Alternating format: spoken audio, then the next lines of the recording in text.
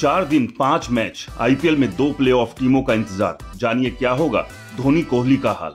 IPL के सत्रहवें season में दो टीमें, कोलकाता नाइट राइडर्स और राजस्थान रॉयल्स प्लेऑफ में एंट्री कर चुकी बाकी दो जंगों के लिए पाँच टीमों के बीच टक्कर है। यह दोनों टीमें अगले चार दिन में होने वाले पाँच मुकाबलों से तय होंगी। दिल्ली और लखनऊ की उम्मीद अभी बरकरार है।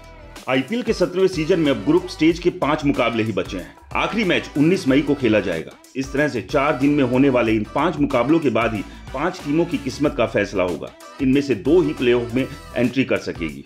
यह पाँच टीमें Chennai Super Kings, Sunrisers, Hyderabad, Royal Challengers, Bengaluru, Lucknow Super Giants और दिल्ली कैपिटल्स है। इनमें भी चेन्नई, हैदराबाद और बेंगलुरु में से दो टीमों के प्लेऑफ में पहुँचने की संभावना सबसे ज़्यादा है, जबकि दिल्ली और लखनऊ की उम्मीद ना के बराबर है। इसकी सबसे बड़ी वजह इन दोनों टीमों का खराब नेट रन रेट है। दिल्ली ने अपने सभी चौदह मैच खेल लिए हैं और उसके चौदह अंक हैं, जबकि नेट रन रेट माइनस में है। दूसरी ओर लखनऊ की तेरह मैच में बारह अंक है। यदि वो आखिरी मैच जीत भी लेती है, तब भी चौदह अंक होंगे, जबकि उसका नेट रन रेट भी माइनस में है। लखनऊ का आखिरी मुकाबला मुंबई इंडियंस से सत्रह मई को होगा। अब बात करते हैं चेन्नई, बेंगलुरु और हैदराबाद की।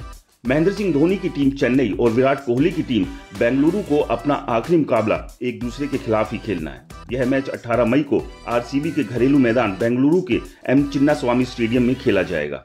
यदि यह मैच आरसीबी 18 रनों के अंतर से जीतती है तो वो पॉइंट्स और नेट रन रेट के मामले में चेन्नई टीम को पछाड़ देगी और प्ले में एंट्री का मज़बूत दावा ठोक देगी, जबकि चेन्नई को दुआ करनी होगी कि हैदराबाद टीम अपने बाकी बचे दोनों मुकाबले हार जाए।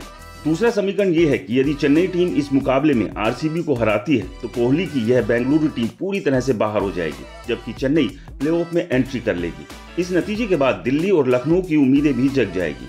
दूसरी ओर पैट कमिंस की कप्तानी वाली हैदराबाद टीम को प्लेऑफ में पहुँचने के लिए अपने बाकी बचे दो में से सिर्फ़ एक ही मैच जीतना होगा। यदि हैदराबाद टीम दोनों मुकाबले हारती है तो फिर उसका नेट रन रेट भी गड़बड़ा जाएगा। साथ ही उसके अंक भी दिल्ली लखनऊ के बराबर चौदह हो जाएँगे।